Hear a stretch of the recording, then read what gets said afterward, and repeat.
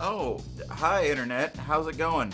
Um, it's me, Marconi, and I had planned to upload a vlog of my weekend activities involving my birthday and a lot of fun stuff, but today seemed to not be that day. I'm sorry. I mean, day after your birthday, sometimes you just need a chance to recover and eat takeout and watch marathons of shows. I just got HBO Go, you know that thing. Can I give you guys my my password and everyone can watch it? Is that what?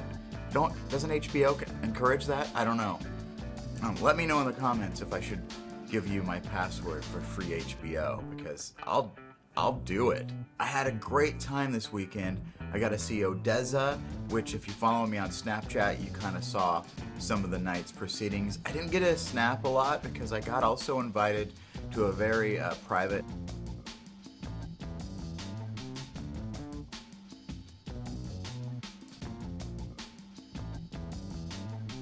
A magical bear, a cat with no hair. You had to be there, you had to be.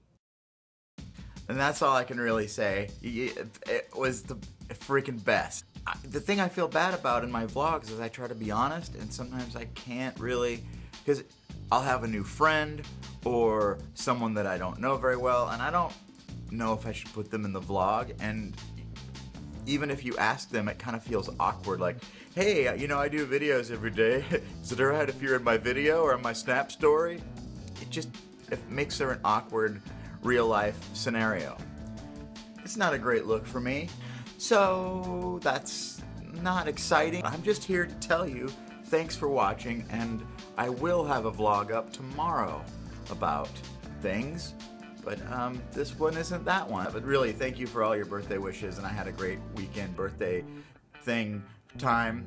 Thank you for watching. I'll be back tomorrow with another glorious episode. Ta ta for now.